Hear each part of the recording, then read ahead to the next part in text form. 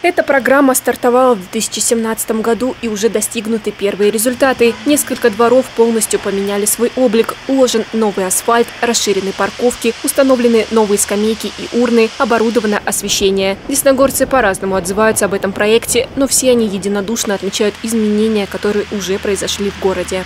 Каждый раз, чтобы был порядок в городе, чтобы было чисто, чтобы красиво было, чтобы дети наши радовались, чтобы площадка здесь была для детей. Под лежачий камень вода не течет, надо что-то делать, надо, иначе 21 век. Я, мы же смотрим телевизор, смотрим как, где, что. Мы в таком зачуханном состоянии. В настоящее время зарегистрировано 8 заявок, которые подали неравнодушные к окружающей местности десногорцы. В следующем году дворы этих жильцов приобретут новый вид. Всем, кто желает принять участие в программе, управляющая компания МУП ККП оказывает всестороннюю всестороннюю помощь. После того, как жители приносят нам свои заявки с пожеланиями, они отмечают на своем плане то, что они хотят видеть на своих благоустроенных придомовых территориях. Наши специалисты выходят э, на место, замеряют все необходимые элементы, составляют всю сметную документацию, то есть ведут все расчеты и разрабатывают подробный план эскизный, чтобы потом его утвердить.